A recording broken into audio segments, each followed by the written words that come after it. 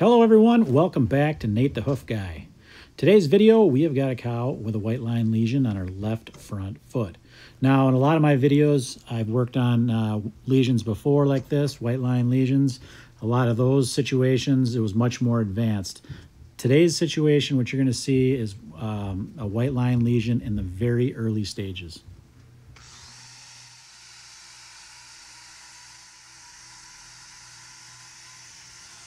When I refer to an abscess or a white line lesion, what I'm referring to is a small perforation in the white line, which is the area uh, between the outside wall of the foot and the sole of the foot.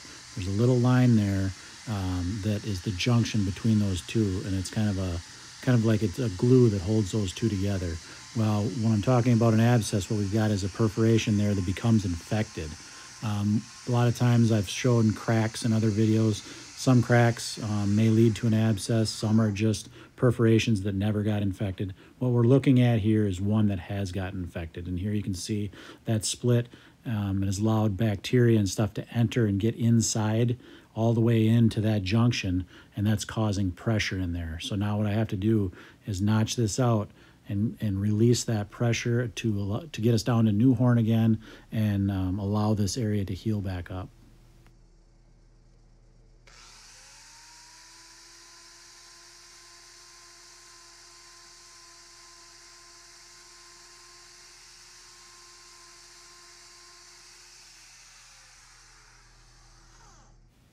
From this angle here, you can get a real good look at that split right in that white line.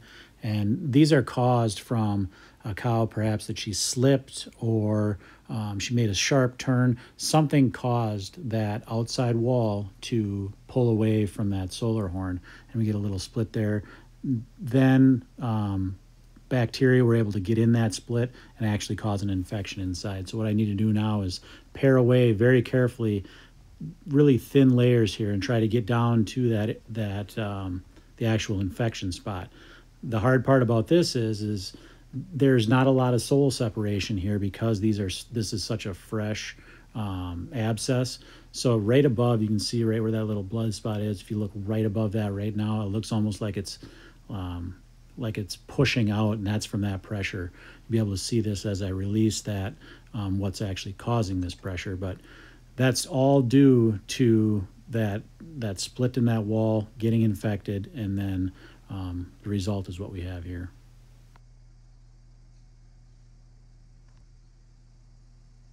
And there's the release of that pressure.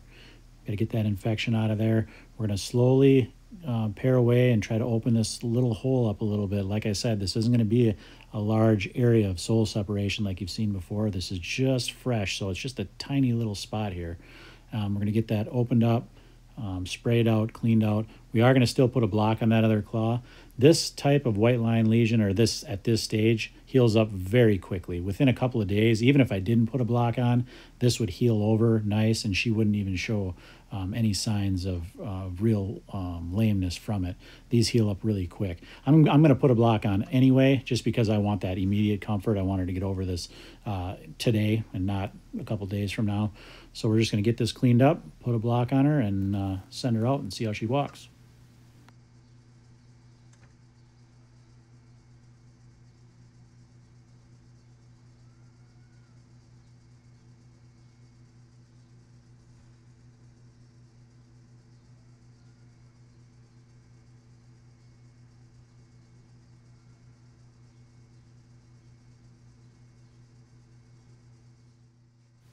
With a lesion this small, there's no need to put a wrap on this.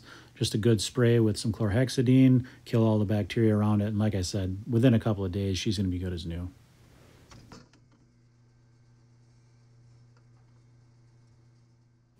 Well, that's going to do it for today, guys. Thanks for watching, and we'll see you on the next one.